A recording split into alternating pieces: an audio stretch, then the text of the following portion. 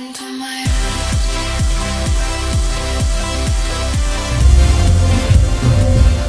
Улаанбаатарт Адидины мега хот болсон. Их хотын амьдрал тасралтгүй хэмнэлтэд өргөлжилж явах учиртай. Залуус бидний чөлөө цаг өнгөрүүлэх газар удахгүй дөрөв хүртэл ажилладаг болно. Харуул хамгаалалттай, хяналттай стандарт орчинд зөвхөн насан туршид үйлчилдэг гэрэл игээтэй аюулгүй байдал. Яагаад дөрөв хүртэл бүжгэлж болохгүй гэж. Энэ бол залуусын мөрөөдөл, энэ бол их хотын хэв маяг. Мөрөөдөл биелнэ. Нийслэлийн ардчилсан нам.